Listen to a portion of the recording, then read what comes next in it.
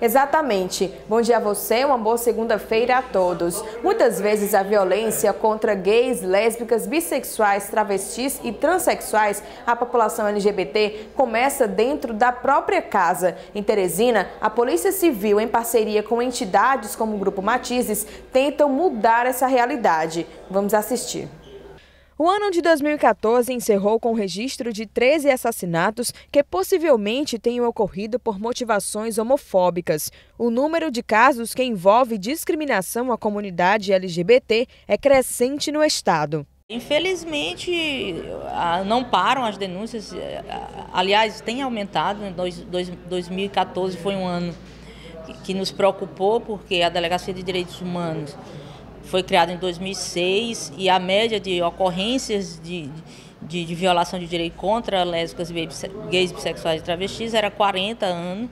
Em 2014, infelizmente, nós tivemos 93 denúncias. Na tentativa de barrar esses casos, a Delegacia de Repressão às Condutas Discriminatórias realizou uma reunião para ouvir as principais demandas das entidades de defesa dos direitos humanos e desenvolver ações e políticas de combate à discriminação.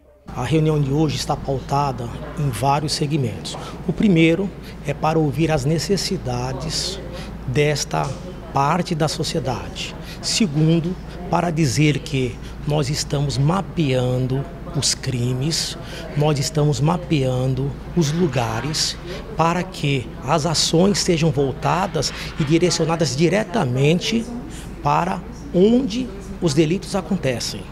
As novas ações da polícia está a oferta de um curso que tem como público-alvo os policiais de todas as delegacias e pretende capacitá-los para que eles possam lidar com crimes que vão de encontro aos direitos humanos. Vamos elaborar um, um programa de curso para é, realizarmos um curso de formação e, e, e capacitação né, para os agentes de polícia de todas as delegacias sobre direitos humanos. Esse curso vai ser só sobre direitos humanos como atender essas questões nas delegacias. O caso da jovem que estava sendo mantida em cárcere privado após ter contado aos pais sobre a orientação sexual vem sendo acompanhado pela delegacia.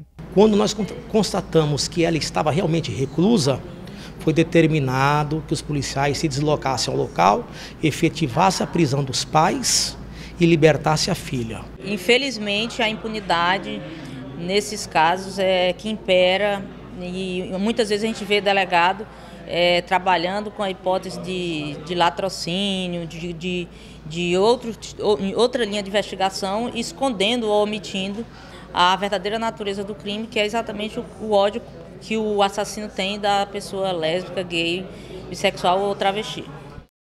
Nós sabemos que o que já foi conquistado ainda não é o suficiente e com a cooperação da polícia, mudanças poderão acontecer. Volto com vocês.